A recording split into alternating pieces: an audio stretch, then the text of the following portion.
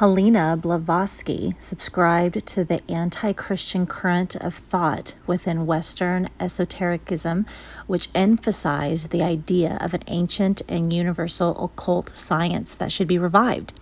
Additionally, Blavatsky stated that the theosophical teachings were passed on to her by other experts as well as channeling spirits or ascended masters from that era who lived in various parts of the world. The very core of her teachings was that there was an ancient wisdom religion that was known by famous figures like Plato of the Greeks, Hindus, and others.